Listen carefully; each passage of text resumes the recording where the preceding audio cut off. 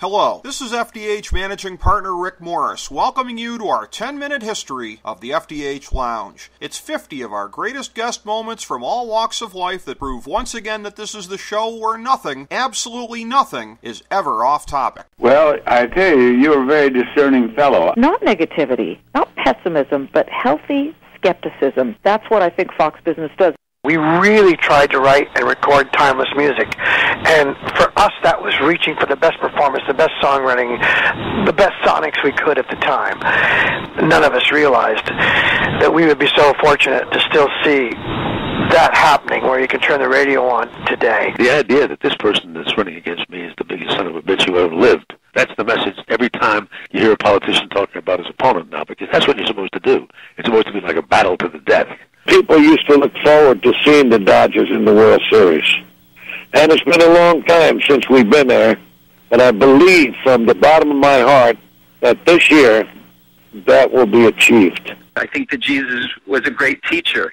The parables that he left us with are things that, if practiced, can change the course of human history. When you think of the history of the National Football League, well, George Halas is the George Washington, but Paul Brown was the Thomas Jefferson.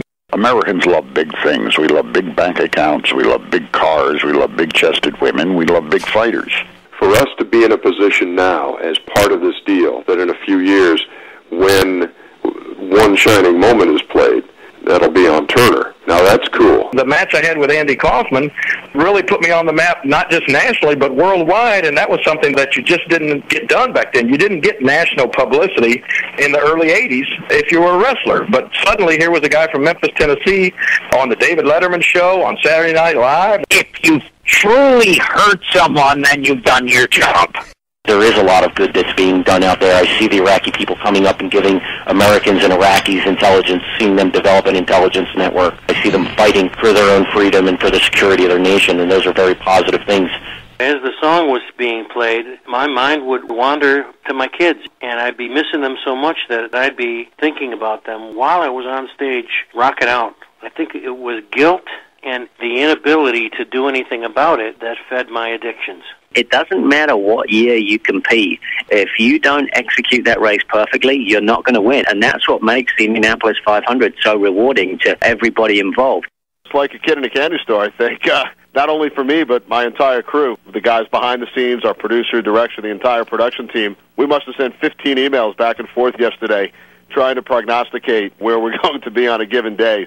120 minutes. I'm proud to be a part of the history of that franchise, and uh, it's a weird word to say franchise, but I mean for me it was all about the music, and the show It was about exposing new artists and up and coming artists and artists on the edge. When you're involved in an addiction and you're struggling with it, and you know you uh, continue to, you know, as gamblers would do, you continue to lose and lose and lose. You know, it wears on you. Uh, you become depressed, and you can't be the player that you need to be. You know, you lose your edge. You know, you become distracted, and that's what happened with me with the gambling, and and. Uh, uh, it probably cost me a career. That was the worst of it. It's one thing if they first got up to the stage and somebody says, oh, oh, hold on, hold on, we made a mistake. But you see everybody crying, the camera's panning, you have these heartfelt acceptance speeches, and they go, oh, sorry, we read that card wrong. Tom and I, we used to joke about it, and as we get older now, it's an undeniable fact that Tom and Peter are closer friends than the bosom buddies ever were. You know, not having to deal with the constraints of uh, living half of our lives in drag either. Think back on the stuff she has said about big issues. You know, the elevator doesn't go all the way up, I don't think. It's been a thread of the business since the very beginning. The screw job that happened with me wasn't the first time. There was wrestlers back in the 20s and 30s that got screwed over way worse than I did. Some of them were lucky they left with their lives. To me, that was always kind of the shame of the Costas Now thing, is that it put people on opposite sides of an issue where there really didn't need to be opposite sides. Bob Feller, when he was 17 years old, right, made the first start of his big league career against the St. Louis Browns and struck out 15 hitters in his first start. And three weeks after that, he faced the Philadelphia Athletics, you know, one of the great teams of the era, and struck out 17. It was the biggest strikeout game in the history of the American League. He was 17 years old, and a couple of weeks after striking out 17 Philadelphia A's, he was back home in Iowa riding on the school bus. Back in the earlier days, the UFC, the very first feud with me and Royce Gracie. For me, it's a big honor. I mean, the show that we do now, it's not anything like the wide world of sports, but just to be in that kind of neighborhood time-wise, it's definitely a big honor to be in that mix. So many people say, well, so and so's tough and so and so's tough. Wrestling is full, or was at least at one time, full of tough guys, and all of them thought Dr. Death was the toughest guy. Let me quote one of our founding fathers, Patrick Henry. Of course, his most famous quote was, Give me liberty or give me death, but he also stated this The liberties of a people never were, nor ever will be secure when the transactions of their rulers may be concealed from them. I think when I look back, I'm proud that I did it the right way. For kids out there to, to know too, like not everybody's doing steroids. It's really been encouraging just how nice everybody is. Um, you go to a new city, you're not quite sure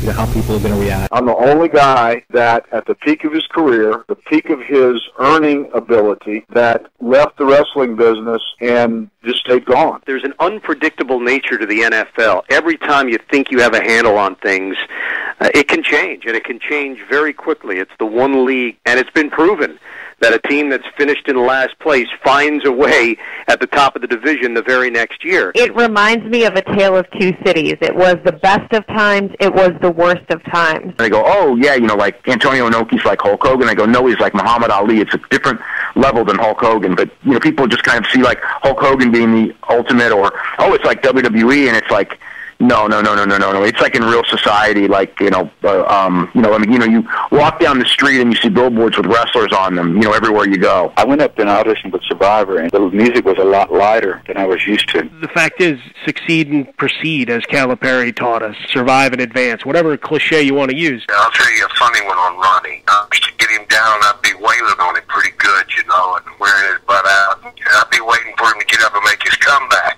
Well, it didn't take me long before I figured it out. There was something that would happen to him right before he's going to start his comeback. And what that something was, was his nipples would get hard. I think we're all film critics. We all leave the theater and instantly have that reaction. You see it with a friend or a loved one, and you lean over on the way over to the car, the train. You say, "Hey, what'd you think of the movie?" And you want to engage in a dialogue of, of conversation. I'm by no means trying to be the be all and end all for film criticism and conversation. And I'm just one guy, and my opinion on film is my own opinion, and I like to share it with the world. Daryl is such a great singer that his voice has become the trademark sound of Hall & Oates and all the big hits. And you never take that away from him because we do something together that we just can't ever do separately. I was a much better heel early on, and, and I was much better doing my own interviews. I could not conceive in my heart and in my mind that Ali could be beat. I believed in him that much. No different than people that believed in Willie Mays and people that believed in Bill Russell, people that believed in Mickey Mantle. That's how it was for me, who enjoyed boxing so much at a young age.